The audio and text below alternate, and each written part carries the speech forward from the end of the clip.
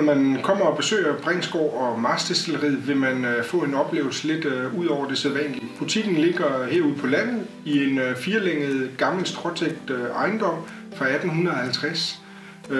Den er indrettet i de tra- altså, traditionelle gamle stalle her, og har et, et helt specielt udtryk, når man kommer ind. Og så fører vi jo en super service og møder kun glade og rare mennesker, der kommer her.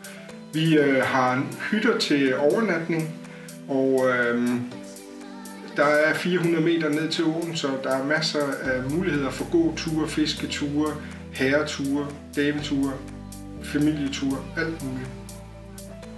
Unikt for hele vores område hernede er, at vi har sort sol, og øh, der er Mars Destilleriet øh, leverandør af sort sol øh, gin og sort sol rom.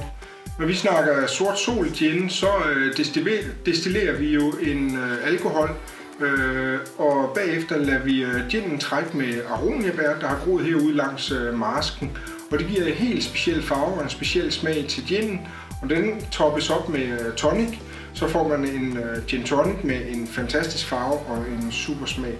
Vores rom er en sort sol rom, som er øh, øh, fra sherryfad og har ligget med, øh, med tonkabønner, som giver en smag af Rømø Strand og sol og sommer og er helt fantastisk. Ideen øh, bag Mars Destilleriet er, at det supporterer øh, Bringsgaard rigtig godt. Øh, vi afholder ekstremt mange øh, rom- og ginsmagninger, og vi har en passion for, øh, for, for nogle af de her produkter, og, øh, og har en masse biler, hvor vi også kører ud og laver forskellige øh, events. Øh, passionen øh, gjorde, at øh, vi i slutningen af 2019 bestilte et øh, stort destilleri fra Oxford af, øh, og så øh, startede vi øh, Mars Destilleriet, og er nu ved at udvikle nye produkter, hvor vi bruger øh, lokale råvarer øh, til at øh, lave alkohol og destillere på og få nogle, nogle super dejlige øh, produkter til rundt i hele Danmark. Altså events øh, på Bringsgaard kan bestå af mange ting. Øh, events øh, på Bringsgaard, vi kører ud til øh, store events med øh, vores biler, hvor vi øh, hjælper med at afvikle sommerfester, øh, festivaler og mange andre ting. Øh, vi har øh, tre lastbiler, hvor den ene er en gammel brandbil fra 62, der er bygget fadelsanlæg og alle de.